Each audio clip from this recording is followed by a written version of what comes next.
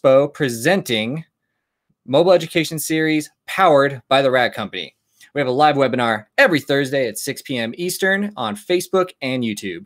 If you're joining us on YouTube, make sure you hit that subscribe button so you can never miss a session and get notifications of when we go live like now. So before we get started, I want to give a huge thank you to the Rag Company for being our sponsor, and let's take a moment to watch a video.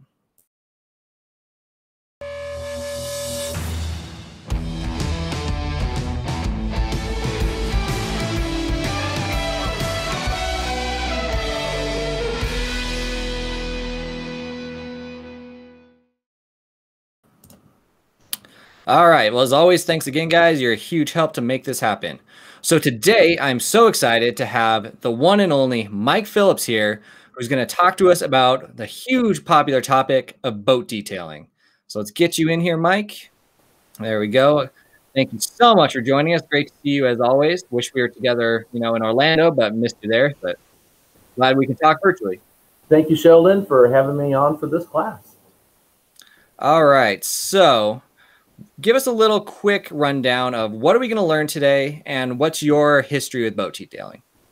Okay, so um, what I'm going to show is um, a method of restoring severely oxidized boats via machine sanding, and I'll explain why. The reason why is is a traditionally what most guys do is they use a, a rotary buffer or a rotary polish with a wool pad, and the process includes a, an aggressive compound and then the other component is the physical aspect where the guy pushes hard against the side of a boat for hours. And um, I started out teaching classes using this system. And then I think it was sometime around 2009, and I, I could be wrong on the date, but I think that's when Mirka Abralon was introduced. It, it actually was probably old, further back because I remember what's in the Joker truck with Mirka Abralon, and that was 2006. But Mirka Abralon is a sanding disc that lends itself very well to machine sanding oxidized gel coat. And the basic difference that I show is instead of taking and pushing a rotary buffer hard against the boat for hours, you can use virtually any orbital polisher, air, pneumatic or electric, and then just hold that polisher lightly and let the sanding action do all the hard work for you. So that's kind of what the class entails. All right. And yeah make the machine do what it's made to do, right? Exactly. And in and the bigger picture is this: you get better results that last longer, and it's a lot easier on you. So you know, there's actually a real method to the madness. Awesome. All right. So let me get this set up here. The way I got into boat detailing was um, I owned the same boat for 20 years. I bought it in 1981 when I was 21. I sold it 20 years later when I was 41. And uh, it was a full race drag boat. And um, probably over the length of the time I owned it, I probably machine sanded it at least three times. And that would have been to remove a lot of the scratches that you get from things like dogs walking across the bow, uh, girlfriends with flip flops with sand under them, things like that. And um, and it was actually the only boat I think I mentioned this to you. The only boat actually enjoyed buffing out. All the other boats I've worked on in my life, um, as cool as they are, they're just a lot of work. So Awesome. All right. Well, I got the video to cooperate with us. So again, this is boat detailing with Mike Phillips. This is obviously pre-recorded, but Mike's going to talk us through. Uh, this was last week, you said, right? Uh, yes. Yes. Uh, my my I teach a boat class here in Stuart. Uh, usually, it's once a year, just because of the logistics of getting the boats down here and setting the classroom up. It's it's a, it's a lot of work, and uh, the boats that I bring in have to be very specific. They have to be dark in color they have to be severely oxidized and, if possible, have mold and mildew in them. And um, I can't use a white boat because there's no visual impact when you take before, uh, get from before to after. I mean, you can see it in person, but it's really hard to capture on video or film. And even for the students, there's just not a dramatic impact. And I like my students to have a great experience when they take any of my classes. So, you know, the boats have to be very specific, dark color, extreme oxidation, mold and mildew, and they have to be large. Uh, this last class had 27 people in it, and that puts uh, basically 13 people on one boat and 14 people on the other boat. You know, that's like six or seven people, or six or seven or eight people to a side. So I bring in big boats so everybody has plenty of room to work on. Nobody ever complains I didn't get any hands-on time in any classes I teach. So, uh, but anyway, then before we taught that class, I uh, Yancey and I just took a moment to take the uh, 27 uh, Conch 27 and create this video. So what you're seeing awesome. is the exact same thing we're going to show the students. Perfect. Well, so for those people that couldn't be there live with you, they can watch it online with us now. And if you're watching, make sure you ask your questions in the chat. Uh, we'll be able to see it, and I'll relay them to Mike, and he'll get them answered. So here we go. So I think we're going to first talk about what kind of tools you use, right? Okay, sure. Yep, there we go. What supplies do you need? So Yancey did this. I thought this was fairly creative how he did this. So those are the Mirka Abralon sanding discs. Uh, they range from 1,000 to 4,000. Uh, handheld lights inspect your work. That's a foam cutting pad. That happens to be the B&S uh, Eurotech. Uh, microfiber towels. Those are uh, Rag Company glass towels, actually. Uh, foam interface. Uh, soapy water, clean, a clean water source uh, wool pad for the cutting step. That's a Rupes. I really like the Rupes pads. Uh, the prep spray, that's a panel wipe. This is a ceramic coating, so we're going to seal in the results of the ceramic. Um, a compound, uh, microfiber applicator pad to apply the ceramic coating. Rotary polisher, that's the Flex cordless PE14. And um, pad spur, got to keep that pad clean. Masking tape, uh, that's to do things like protect um, a lot of boats have a boot stripe, looks like a big pinstripe across the bottom, as you see in the back of that boat. Just take things off. Also, anything uh, decorative. You know, a lot of boats have uh, chrome, stainless steel, and anything where you're going to be sanding, you want to take that off because you don't want to uh, scuff it with your sanding disc. Right, right. Anything weird here that a detailer wouldn't normally have, and they might have to go buy to get into boats, or is this stuff that's normally in like your wheelhouse? This, no, this is uh, you know maybe the sanding discs. You know, um, you know, wet sanding is a really popular topic but, but you know, one of the things I'm always trying to teach people is when it comes to the, you know, in the car world, the factory clear coat's about three mils, uh, two mils thin. It's not even two mils thick; it's thin. And uh, a good way to understand that is to grab a post-it note or a piece of printer paper, hold it between your your thumb and your finger, and when you feel how thin that post-it note is, then your brain can easily wrap around and go, okay, so my clear coat on my car is thinner than that. And because it's so thin, most of us should not be wet sanding by hand or machine factory finishes. In fact, most color sanding or wet sanding is done to custom paint jobs where the painters put more clear on. When it comes to boats, uh, the gel coat can range anywhere from 20 to 30 mils on average. So you have a lot more material there to work with. Uh, but besides the sanding discs, you know, uh, these are tools and, and products that most detailers have access to. Okay. Rod Poozy says you're a uh, detail encyclopedia. and uh, and for what it's worth, Autogeek carries Mirka Abralon sanding All right, so first you're going to mask everything off here. Like you said, yeah. normally you just do this for the trim or things you wouldn't want to damage inadvertently, but yeah. So why I'm taping this off though is um, this is what I call my test spot. And you know, you don't need to tape off a section, but I'm going to capture this for my own purposes with the camera, and I just wanted a strong demarcation line showing before and after. Uh, but in the real world, yeah, if you're buffing on a boat, you don't waste your time taking off the section on the side, unless you really want to, you know, for marketing purposes. But um, you do want to be careful. There's a there's an article I wrote years ago called "The Line." Don't buff on it, and that means the, the tape line. If you sit there and sand and buff real hard on car paint or gel coat, right where that line is, you'll leave a physical line in the side of that thing. So. Uh, really, professionals should only be doing this kind of stuff for marketing reasons, and I'm doing it for that. And that's what now that you see right there, I'm taking off the boot stripe there. And I put two layers of uh, tape on. And that's because, you know, the, the human muscles, the way they work, it's naturally easy to waver over where you're not supposed to go. And then here's something I do for this type of stuff and also cars. I take a dry microfiber towel and I'm really pushing that tape on hard because once I hit that with the sanding disc or a buffer, it's going to want to peel up. And once the tape peels up, there's there's really no putting it back. It's kind of game over because you got water and soap and stuff in there. But uh, and then I'm kind of anal retentive. You know, there's a there was a gap there, and where you know where I let it down, so I kind of pull back and push it all the way up and hammer down on it. Uh, but again, this is just I do a test spot on every single boat before my class, just so I know what's going on before the class gets there. All right, so here you are actually going to see what you're dealing with.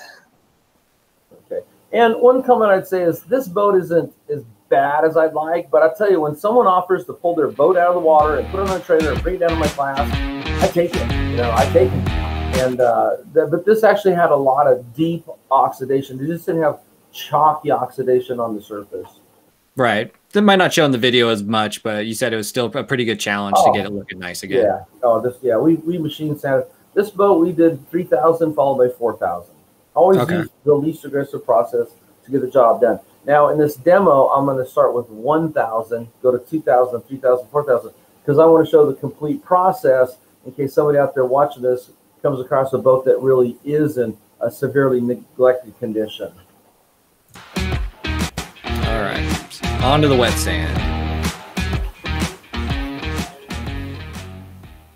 This is a foam interface pad, and uh, this is important to have one of these. This is a 3M, uh, and what this does is, you know, the side of a boat isn't perfectly flat; it has a curve to it, and all this is going to do is it's going to keep 100% of this uh, sanding disc surface engaged with the surface but it also does something else. It smooths out that action at the polisher level, which in turn smooths it out for you holding it. And again, you know, in a class situation like mine, you got 27 people working on two boats. Usually you're by yourself or you have a buddy. Then spray the surface with some soapy water. And um, for this demonstration with 1000, I'm going to go ahead and cut this pretty hard. So I'm going to make 14 section passes. And a section pass, and you'll see it here, is just, you know, each time you go to the section one time, that's one section. one right there, right. And one of the techniques I teach in all my classes, boat and car, is to count your section passes out loud. And uh, the reason I do that is because when you're doing something like this, it's real easy for the mind to wander and you'll forget on what pass you're on. And that's a big time waster because what most guys do is they don't count their section passes out, so they don't know where they're at, and so they forget where they're at. So they figure, well, I'll do a few more to make sure I did enough. Well, if you extrapolate that around an entire boat or an entire car, that's a lot of wasted time. And the purpose of a test spot is to dial in a process that works perfectly to one area. And when you do that and say you counted out your section passes, it's important you duplicate that to the rest of the boat or the rest of the car, and you'll get the same results. But you can't duplicate it if you don't know where you're at. And that's why I teach counting your passes out loud. Do you even write it down when you really have it dialed in so you don't forget? No. Or? No, no, it's just it's, it's just because say you say um, say I'm going to repeat this process over the rest of the boat. When I move to the next section, I'm going to overlap into the previous section, and I need to count those 14 section passes out. Otherwise, I'll start to think about what my wife told me to get to bring home from the store. See, I'll forget what where I was at. Then I'll go, oh shit, I forgot. I better do four or five more section passes to make sure I did enough. See, if you don't count them out, you'll lose track and you'll you'll end up wasting time, and you won't get you know consistent results. And right. as you run out of water, you know, of course, mist some on, uh, keep that wet. Your sanding disc will last longer, and uh, the, the cutting action will be smoother, and the sanding marks will be more uniform. So while you're still working on this, is there a reason you use soapy water versus normal water? Yeah, and this what the soapy water does is they soap makes it slippery, so it's a lubricant. You know, you want the sanding sanding particles to cut, but you also don't want them to um, you know, you want them to be able, the sanding just to be able to glide over the surface as it's cutting. And also the soapy water uh, enables or prevents the sanding disc from loading up with the gel coat you're removing. So it'll cut cleaner and it'll cut longer. You'll get more uh, use out of the disc itself. Good question, by the way. Same thing for uh, wet sanding a car. A little soap in the water uh, helps for those reasons. Awesome. All right. So again, if you're watching, make sure you ask Mike any questions. We have some downtime every now and then in the video, and I mean, you can ask him what his favorite color is, or why he's wearing that great Marine 31 shirt, or. One thing I'd point out is I'm showing the uh, cordless uh, so the cordless Flex. Uh, I forget the part number. I call it the Sea Beast, which stands for cordless beast. It's the cordless version of the beast. This is your sanding slurry. And then go ahead. I just take some of that soapy water, spray on there, and wipe it off um, get that off there. You don't want to start sanding again, and then in that in that slurry, you've got gel coat. You possibly have sanding particles that came off the disc. You don't want to grind that into the boat. You want to work clean. Okay, so now I'm going to take. You see the blue oxidation yeah. coming off there. So that's the thousand coming off, two thousand going on. But the the cool thing about the the, the Sea Beast is uh, because it's gear driven. There's no there's no stalling. And, um, and what I teach in my class is to use a gear driven uh, orbital polisher because it's the fastest way to machine sand a boat. Um, you can use a free spinning tool of any type if you want to, but here's what I teach in the class. It already takes a long time to sand down and buff out a boat. Why would I want to do it in ways that take even longer? So I'm a big proponent of the gear driven orbital. In my last class, uh, we used uh, the Beast, the Sea Beast, the Super Beast, and the Rupes Mille. Those are all gear driven orbitals. Yep. So lots of good options out there, obviously. So Yeah. time is money. So why, why would you want to take longer? Uh, yeah, why would you take longer? We used to sell the Makita PO 5000C, which is uh, the gear driven from Makita, but you know, you know, people ask me all the time, how come you quit selling? Because it didn't sell. It's, you know, it's just it sat up and gathered dust. So, uh, but it would be another option. In gear driven mode, it would make a great sander. In fact, I think in my original review for that tool, I machine sanded the car with it uh, using a, a Trizact 5000. So something very safe on a custom paint job, not factory finish. Right. So how do you find the boat paint jobs hold up to all the detail work you've done? Uh, they, they hold up really well, but that's because we switched over to doing nothing but um, ceramic coatings to seal the gel coat.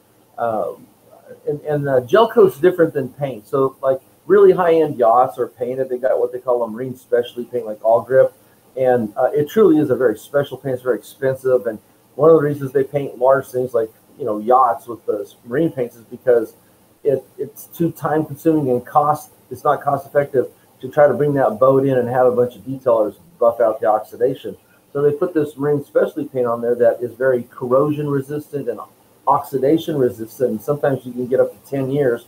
And the people that are at that income level, when that paint finally is like it's dead, it's ready to re, uh, to do something, instead of buffing it out, they just pay to have it repainted or trade it in on the new yacht. Yeah. Uh, but gel coats are very different. Gel coat is polyester resin with a pigment in it, and it's a it's a catalyzed resin. So there's a hardener that goes in there, and for that reason, that's you bring up a good question because now you've got a, pro- a product that because of the pigment is mixed in with the resin, it creates a a, a resin that has a porosity to it, and uh, and that's why the oxidation is able to go deep into the gel coat, not just be on the surface of the gel coat like it would be with like a uh, most car paints. Oh, okay. Um, looks like we do have a question from Chris. Um, we detail boats in Utah and deal with major hard water spotting and mineral buildup. Yeah, I'm in Vegas. I hear you there. What's the best way to remove and correct this? And what do you suggest as far as protection for older boats? Yeah, well, I, have to just be honest and admit that I have never had to deal with that problem. The first thing I would do is I would look for um, a, a chemical alternative that you could um, apply to the surface that would dissolve that salt off. I, I know there's some products out there like that. Um, I would look at that way. But once you get into anything that's uh, impacted onto the gel coat, you know, you got two options. You got the traditional uh, compound, you know, with either a wool pad and a rotary or maybe a microfiber pad on a DA, or do as I'm showing here, sanding. I mean, if you're going to end up using a rotary buffer anyways, um, again, you have two options when it comes to doing gel coat correction. You can push hard with the rotary for hours, or you could do, say, light sanding with, say, 4,000 grit, then come back with your wool pad and your rotary and quickly and easily buff out that sanding stretch pattern. So you're doing the same thing, you're just approaching a different way. And as far as uh, sealing older boats, again, in the class that I teach, since we're taking this down to pure gel coat, uh, we're going to seal this up with a ceramic coating and we're seeing easily one year of protection before maybe you got to do something. It just depends on the boat store. There's a huge difference between a boat that's kept in the water all the time and a boat that's kept in a boat barn here in Florida because of the salt water and the sun. Uh, the salt water, believe it or not, is abrasive. Water is abrasive. You know, it carved out the Grand Canyon. Salt water is even more abrasive. You know, so a boat traveling through the water is being micro abraded by the salt water and salt water is also very corrosive. I mean, look what it would do to a piece of steel that's unimpregnated, cause rust. So it's a it's a corrosion factor. Uh, so, um, but for the older boats, I mean, once you get down to just a pure gel coat and you've removed all that dead oxidized gel coat, the the ceramic coatings are, have a, a really good, strong attachment to it. So that that's the way I go. I mean, your other options are synthetic sealant or some type of carnauba wax or other waxy type substance and you know, everybody knows that in a marine environment, you'd be lucky to get three months, maybe six months out of a sealant. But again, it just depends on how the boat is stored. Is it in the water? Is it in a, Is it in a, um, a boat lift or is it out of the, uh, the sun and the weather in a boat barn or in your garage or alongside your house undercover? All those things have a huge factor into how long the results last from any correction job, or if you have a brand new boat, how long it stays looking new. Well, that actually leads into our next question, and you've kind of already answered it. But the question was, how often does this have to be done? And obviously, the answer is it very much varies. It but it sounds like to be a good detailed business owner, you need to understand how long what you're doing is going to last, so that you can proactively follow up with the owner and say, "Hey, it's been two years. You probably need me to fix your boat again, or bring it. yeah, you know, staying in communication with the boat owner, and um, you know, it, it's real important. Anytime you pull a boat out of water to wash it um, I recently went out on a buddy of mine's boat. We, we ceramic coated it. And when we got it to his house in the driveway, we washed it. At first, when I looked at the boat, it looked clean. It looked great. As soon as you made one one pass, you know, with the wash mitt over the side of the hull, you could instantly see a bright, clean gel coat and then this film left by the water. And, you know, um, the, the, the, you know, just a lot of stuff floating around the water, motor oil from other boats and just junk up there and just a film that deposits onto the surface. All right, so, I'm here. I'm going to draw attention to the video again. It looks like uh, so you finished uh, with the 3000. So okay. now I should be able to see the difference in the oh yeah before and after.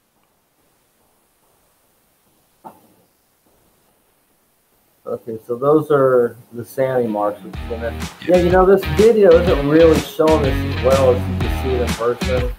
It might but, be. Able, I don't, if you're okay with it, I could put this up for people to see on a bigger screen. After. Oh, I would rather do that make me smaller. I've been working in the garage all day long. I'm tired.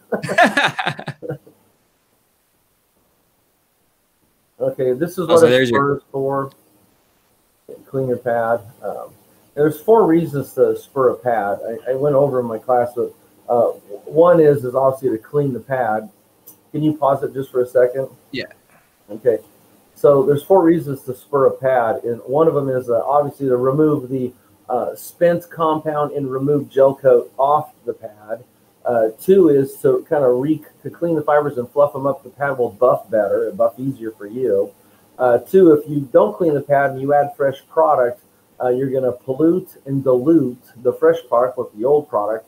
And then four, the residue, if you don't clean your pad and you just keep adding compound to a, a dirty pad, the residue you leave behind on the boat is harder, it's stickier, so it's harder to wipe off that tires you out. So, and I, you know, I've used a screwdriver, I've used a wrench, I've used whatever's next to me to clean a pad when I didn't have a spur. But in the real world, a spur does a better job. Your pad lasts longer, and they're like ten bucks. So if you don't have a spur and you do a lot of wool pad work with the rotary, get a spur. How many uses do you think you'd get out of a pad then if you clean it properly? Oh my gosh, you, a wool pad uh, lasts you for decades. Oh, okay. You know, it just depends. You know, like I've been in body shops where I would have guessed the pads were maybe ten years old or older. I mean, uh, the pads don't really wear like foam. Um, so, I mean, I got a story about a wool pad, but I don't want to embarrass the guy that owned it so much. kind of thing. But uh, wool pads are very durable. And you know, uh, that question came up in my class. You know, how many wool pads would it take to buff out one of these boats? One of the boats was a 27 foot center console. The other was a 26 center console. And realistically, a person, say if I was by myself, I could buff out the entire outside of that hole with just one pad. Um, the, as long as I'm spurring it, keeping it clean. Maybe if you really wanted to go nuts, have two pads, one for one side. But pad saturation and a wet pad isn't really a problem with wool pads as long as you're just spurring them. If you're using a pad washer, to me, that's for something at the end of the day because you don't want to get the wool all wet. So, okay, let's keep on going here. So you just cleaned your pad. Yep. Okay. Now this is called uh, picking up your bead or strip of product using the 10 at 10 technique. And uh, Yancey put all the dialogue up there, but basically you look at the top of your buffer like it's a clock, 12 o'clock. I went around and there's, there's nine o'clock, there's 10 o'clock. What I'm going to do is I'm going to lay my pad down flat. I'm going to turn it on and I'm going to run that strip in at the 10 o'clock mark and um, then spread it around, start buffing. And uh, if you're really good, you do this and you don't throw anything anywhere. So boom, there you go. In a second, I'm going to show how to do the same thing, only I'm going to pick up the strip of product using the um, 10 at 4 technique. I'm going to pick it up going the opposite way, running that strip at the 4 o'clock mark if you're looking at a clock. And you'll, you'll see what I mean, once you get really good at this, it's relative how you pick it up, as long as you understand that when you run that strip into the pad, you want to do it in a way that the pad's pulling the product into itself, not throwing it all over yourself, your neighbors, or the boat. Everyone else, yeah. So you're doing eight passes here. Um, while you're doing that, we had another question. Any tips on the interior boat cleaning? Yeah, but that's not a, the scope of this video, really. I mean, that's what I teach in the class, and it's a lot of work. More and more importantly, is I'd rather stay on topic. I, I can answer that later. But if you look at how I'm holding this polisher, I've taken that pad and I've went up on edge. Now, um, you know, I, I, meet guys all the time that say, "Well, Mike, that's not correct technique. You should hold that pad flat against the surface." Um, and I say, you know, God bless you if you want to do it that way. But what's going to happen is that pad's going to yank you all over the place and tire you out.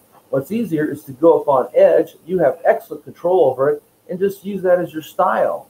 And the next thing now, uh, the next thing people will say, well, Mike, when you go up on edge, because you have more pressure to a smaller footprint on the pad, you're going to put deeper hologram scratches into the surface. And I would agree with you if I was using, see how I picked that up at the four o'clock mark there? Yeah. And so it becomes relative. You can go up, you can go down, and go side to side. Just all you got to do is start to figure out how that spinning pad is going to pull the product into the pad. But the, the thing about uh, deeper hologram scratches is what they technically are. Uh, some people call them swirls, but they're holograms. If you're using caveman compounds, rocks in a bottle, and you go up on edge, you're, yeah, you're going to push those abrasives into the gel coat. I'm using a compound that costs $60 a quart. It's an engineered abrasive. When you force them out feel it, it feels like Jergens hand lotion. I'm not pushing any rocks or abrasives into the gel coat. The only thing putting that swirl in at that point is the fibers of the wool pad, and those will easily buff out when I switch over to a foam pad. So I've already heard all the arguments about all this. I've been doing this as long or longer than anybody, and I'm, I'm always happy to field questions on it. But if, if I didn't feel confident in this process, I certainly wouldn't be teaching the class on it. Cool. Well, that was a nice little tip there. Um, someone did say so. Back to the way you originally took the um, polish on, you did the two ways. Is there a technique you personally prefer? Um, well, I do the 10 at 10, 10 at 10 technique for most everything I do. But if you want to make it real easy, you don't want to worry about splattering it, just take and put the, the compound in the very center part of the pad, put the pad against there, bring it up to slow speed, spread it around, and then go up on edge and start working it. Yeah, um, that's how I usually to, do it because I'm not an expert and I don't yeah, want it to fly everywhere. Really, to put it in the center, you know, look, look like the, the outer two inch ring on the center pad. If you put it on the outside and turn on, it's just going to fly out. So that's really the key there. And I think I just showed the hologram. Yeah, right? yeah, saw the holograms there. So now you're going to yeah. take those out. And that's normal. That's what fiber pads do to a surface, whether it's car paint or gel coat. Okay, now this is a Buff and Shine uh, Eurotech foam cutting pad. It's very sharp. And uh, this is what I show in all my boat classes. Gel coat just does, at least hard gel coat, doesn't seem to like soft, gushy foam pads. Um, and I used to show the uh, the Rupes pad, but they they discontinued their their original style, and um, I haven't really liked the new style yet for this type of work because the pour it just hasn't worked. So I switched over to this Buff and Shine, which by the way is almost identical to the old Rupes style, and it works very good. Now I've switched over to the Flex Sea Beast. Okay, and I just kind of showed you how I kept the pad in contact, but just tilted it and grabbed it so I didn't throw it everywhere. And after I got it spread out, now I'm going to push down. I'm probably pushing down about 10 pounds of pressure. I'm pushing on that thing. This is an 8 millimeter gear-driven tool, so there's no pad stalling. And then I'm just going to work that surface with the normal uh, protocol of eight good solid section passes. Crosshatch pattern, counting out my section passes so I don't forget where I'm at. Right, right. You know, when I'm out in the garage detailing cars, sometimes my coworkers come out to use the vending machine and they don't know what I'm doing. They just hear me say something like four, and they know I'm buffing. Then they hear five, and if they're there long enough, they hear me go to whatever I've dialed in, switch back over to one, and I'm sure they think I'm crazy. But, uh, There's I'm, Mike I'm talking being, to himself again. I'm being fast and I'm being efficient. Is what I am. Yep. I like it. That's a great tip. Yeah, I taught this at Mobile Tech Expo uh, last year in every one of my classes. It's one of the tips at the very end of whatever the topic was. I go, here's a tip that'll help you out. Count out your section passes. And when I meet guys in the detailing world that took my advice, they always say the same thing. You're right. It killed at least an hour out of my correction step. That's fantastic. So it looks like you did your eight passes there. Yep. I love these uh, orange glass towels by the Rag Company, by the way. I would uh, relabel them compound towels. They're stout, but they're still microfiber, and the, they have a loop like a terry cloth, and the loop slices into that film, helps to break it up, make it easy to wipe off. Um, a really nice towel. I showed this in all my car detailing classes as a compound towel too. Okay, remove the tape. This is just kind of to show everybody the difference. And also, um, I'm going to use a panel wipe here in a second. And for anybody that's ever done a lot of demonstration, if you don't remove the tape and you try to work inside that tape, you'll the, the compound will have mixed with some of the tape residue and it actually creates a big smeary mess, which ruins your demonstration. Uh, guys that do a lot of demos, you know exactly what I'm talking about. So that's why I take that tape off there. Otherwise, you leave a smear with, oh, look at that. And I'm like, don't look at that. It's just so, I, I no, even, I mean, you can see the difference night and day. Uh, you, I think I've been going to SEMA uh, 16 or 17 years on almost every every year. What I do is I demonstrate on black paint. Okay, so here's the oxidized side, and then here's the polished side. Holograms are all gone. All yeah, gone. I know. Great. And again, some people say, well, Mike, going up on edge, you'll put deep holograms in. Not if you use great abrasive technology. Okay, so this is a panel wipe in the Marine 31 line. And we're just going to take and chemically strip this. And this kind of removes all the surface polishing oils.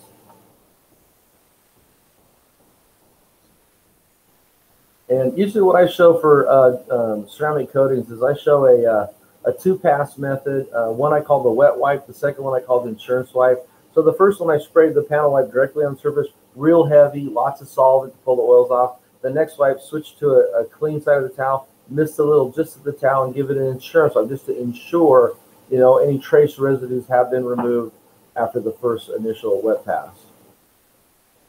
Okay, so here's the ceramic coating, microfiber applicator uh, block. And the only thing about this is because boats are, you know, so large, at least the kind I use in my classes, you really need to do a good job of priming the pad. Otherwise, you know, if you take a, you only have a few drops on there, I mean, it might look on camera, but the dry parts of the microfiber will be pulling that off as you're wiping. So you need to dampen that side with your initial application. And then your basic crosshatch pattern. And you know, there's no magic, in my opinion, to crosshatch. All it is is it's a it's a it's a technique that anyone can use. You can teach employees, and it ensures uniform coverage over the entire area.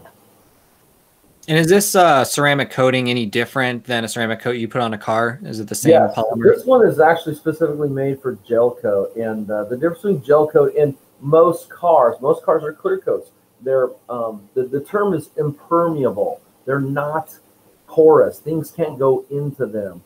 Gel coats are porous. They're permeable. And uh, so it's a harder surface to get the coating to bond to and endure over time. Um, and that's really the key. Plus, the marine environment is really harsh. So what we recommend with this coating, and this is a Marine 31 coating, is you know two, even three applications, and it's a very high solids um, coating. So uh, you can fill the porosity and cover and coat the surface with less applications faster. And it's actually brand new. It launches, I think, in uh, April 13th. So this was kind of a sneak peek. Oh. And another cool thing about it is, you know, the, the marketing directions say you can wait up to five minutes, so you can go about six foot by six foot. But um, I, I, tend to just like to wait about a minute and then go ahead and give it a wipe. You know, any coating, once it starts to flash, and you know, it's starting to get stickier to wipe off, and I don't want to fight myself. That's called the Mike Pennington nod right there, if anybody knows Mike Pennington. Every time you made a Meguiar's video, it's always looking into the surface and nodding. Here, I'll be teasing about that. We call that the Mike Pennington nod. And that's kind of the, the grunt work right there. There you go. Now you just have a whole lot more boat to do. Yeah, well, and that's why I like having my classes. I kind of do a little section to show everybody how to do it, and then I do this clap my hands, and that means get to work. Anybody that's been in my class, they know all about the clap. What that means, that's get to work. So. well, any other? Um, well, obviously, if you're watching, have quite a few uh, watchers right now. We, uh, we have some time for questions. So, um, in the meantime, is there any random tips you might not have thought of that you feel like that would just change someone's boat detail game, or? Um, you know, um, uh, one thing, since somebody asked about interior detailing, um, I teach uh, any anytime I can use a machine to do something versus me, I will use a machine.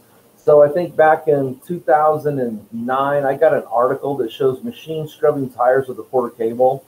Um, since then, I see everybody's out there machine scrubbing tires, but I think that was the first time it was shown. And of course, because that's a plug-in tool, that's a shock hazard. Uh, since Flex has introduced these cordless rotaries, um, I always tend to use the cordless rotary with about an inch and a half inch brush to machine scrub tires. And a couple years ago, I took that to the boat. I'm going to tie this in, cleaning non-skid. You know, uh, you can use a, a, a, brush on a broom. You know, you can get down and scrub by hand. But man, nothing gets it as clean as uh, machine scrubbing with the rotary or even a, a gear-driven C-Beast, cordless beast. Again, you're trying to avoid the shock hazard by using cordless tools in a wet environment. And even though you're the boat may be in your garage, you're going to be rinsing that boat out with water out in your driveway. You're going to be rinsing that boat out. That's a wet environment to drag an extension cord into. And then I also teach machine scrubbing all the vinyl um, with the mold remover or a vinyl cleaner in that same brush. I have dedicated brushes for the floor and for vinyl. But I tell you, there's there the human the human cannot compete against the machine when it comes to getting non-skid and vinyl clean. So, you know, so, and the way I teach my bow classes is the first day we do the outside, and that's kind of opposite how I would do it in the real world. And I explain that in the class. But one of the reasons I teach this is A, when I got people flying in from all around the country, uh, the United States and other countries to take this boat class, I want them to have a great experience the first day. And everybody's there to work on the outside of the boat. Working on the inside, it's necessary, but it's not exciting. Uh, the other reason why is because it is so physical I can't have everybody waste, you know, wasting their muscle energy doing the inside of the boat, which is also physical, and have them be tired when it comes to doing the outside because uh, machine sanding is easy, but running that rotary buffer, pulling out your sanding marks and polishing, you know, that takes some muscle. And I need my guys and ladies. I have three ladies in this class because I need everybody fresh. So I do things kind of out of order in the boat class than I normally would. But besides that, to, to do a boat detail, I mean, the first step is washing. Start at the top, work your way down. Start at the bow, work your way back. Yeah, so uh, we just had a question come in saying, you said sand and polish the sections above the water line, not done on the lower hull section, I assume. Uh, yeah, above the water line. Yeah, no, okay. I, my my class doesn't really get down to like where the you know the boat we were working on needs the bottom painted. I mean that's a specialty procedure, and it's kind of beyond the scope of what I teach. So it's from the water line to the rub rail. Water line and, up. And then when we go to the inside of the boat, believe it or not, the the top cap and all the inner uh, parts that are gel coat, they don't tend to seem to oxidize as bad as the parts that are you know exposed to the salt water or even fresh water. And um, we don't. I don't ever teach sanding that. For that, we just take wool pad, rotary buffer, compound, or wool pad, rotary buffer, one step, cleaner wax, or AIO. It just depends on if you want to do a ceramic coating or not. If you don't want to do ceramic coating, there's no reason to compound the inside of a boat when a lot of times a real good quality uh, one step cleaner wax or one step a sealant or a AIO with a wool pad. I mean, you'd be amazed at what you can knock out with that. All right, so I think a last question here, and you've kind of hit on it, but I think it's probably one of the most important takeaways of the whole class. But can you talk about using your body weight rather than the arms? Yeah, you know, um, a couple techniques I teach in my wet sanding classes with cars and boat is um, what I usually do is I'll have a guy. Let's see if I can turn this way. I'll have a guy hold the rotary buffer out like this away from his body. And then I'll grab it and I'll say, don't let me move you. And I'll show that I can easily move that guy around. And I'll say, now bring that rotary in close. And then I'll try to say, now don't let me move you. And now, because he's got all his, his arms and his chest muscles to hold that, he's got leverage over that tool where he did it when it's extended. So you want to get close to the boat. And when you are using the rotary, um, there's a technique where you can rock back and forth from side to side and basically, you can hold that rotary like in the same place with your body. And as you rock your leg, you move the rotary over the bow. And what that does is it uh, it doesn't tax you, and it gives you such good control of the rotary. Like you can really press hard if you want to. Now going up and down, you can't do that because you can't rock. I mean, you could. I guess you could lift your body up, but there's a couple different techniques I show for that. And when using a rotary buffer, I think you got some pictures there if you want to pull those up. Yeah. Um, and I'll, I'll just kind of touch on it. So anybody that's wondering why sanding, this this guy here in this white T-shirt, uh, he was one of my classes, and look how he's holding the rotary. I mean, he's just he's not pushing on it at all. Look, his thumb is on the head. His hand should be up there shoving that thing into the bow. And uh, so I showed him the right way. Look at me now. I am pushing on the head of that, pushing it. I'm leaning into the bow. And um, and you know that's kind of how you use a rotary. Otherwise, you're you're just not going to get the cutting action you need. And um, and also out of these two pictures, um, if a person you know didn't machine sand and buff like the guy with the white T-shirt, what happens is the oils and the solvents and the carrying agents in the compound as you're buffing, they soak into the gel coat and darken it, you know, or, or make it look richer. And it can fool you. It can look like you've removed the oxidation, but you haven't. You know, and so and, and, and again, this guy in the white shirt, if you if you start out like me over here pushing hard, really cutting hard, about the time you get about eight more feet down that boat, you're tired. And you start out doing good work, but it's only natural that your quality starts to drop off because you physically get tired. And that's again why I show machine sanding. Instead of pushing hard for hours, just hold the sander lightly against the surface. Let it do the work and work your way out to a high grit. Let your budget be the guide. I always show 4,000 because that's as high as Mirka Abralon goes. And then when you do go to buff out, that sanding mark buffs out a lot easier than say finishing with 1,000, 2,000, or even 3,000. And it's sure as heck a lot easier than not sanding at all and trying to push that buffer all the way around the boat, you know, for hours, if not days. Yeah, not be able to do any other work for the next couple days because you're so tired. Good workout. All right. Well, Mike, thank you so much for coming on and walking us through the video and all these great tidbits you gave. I mean, there's some great advice for anyone watching to apply to boats, cars, anything. So, um, where can we find you next? Are we going to see a mobile tech, I hope, and maybe some I more online so. classes? Um, well, I think my next class coming up with you, I'm going to teach uh, machine sanding on cars. And I have a 1963 Plymouth Fury. They just repainted the trunk lid. And I'm going to just show how to machine sand that using Trizact this time and then pull your sanding marks out and leave a swirl free finish. But I think I'm gonna, my next thing I'll be doing is I think I'm going to be over there in Kentucky at um, at the uh, Southern Detailers Conference. Okay. And then hopefully over in uh, Vegas at the next Mobile Tech Expo. You know, awesome yeah, I just booked my tickets to Kentucky, so I will see you there. I can't wait. Let's hope. Uh, let's hope we continue to have the success we're having with this uh, pandemic that's been taking place. Yep. Yep. All right. Well, again, thank you very much, and uh, we'll talk to you soon. Okay. Thank you so much, Sheldon. All right, everyone. Hope you enjoyed that. Uh, thanks again to Mike Phillips. That was fantastic. Um, thanks again to the Rag Company for sponsoring this. We also have our supporting sponsors of Gtechniq, Coach Shami, and P&S Detail. Make sure you tune in next week. We have a special one from Marshall Hill talking about ceramic coating and how you can sell more if you market it correctly. So again, make sure you hit that subscribe button. And again, I'm Sheldon Kay, Mobile Tech Expo showman.